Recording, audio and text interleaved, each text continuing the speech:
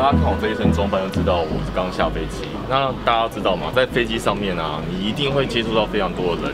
比方说，你旁边会有人坐一个外国人，旁边看你，你没办法去预测旁边坐的是谁。所以呢，在飞机上戴口罩就非常的重要了。那现在下飞机呢，有个更重要的事情要做，你们知道什么吗？就是洗手。我要赶快去洗手。走，我们去看看你厕所有什么厉害的装备。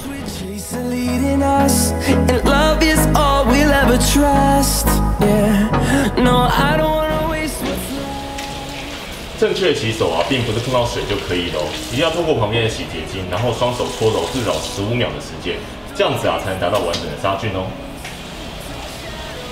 最后一步呢，就是干手，把手上的水分都吹干了，才能达到真正干净的效果。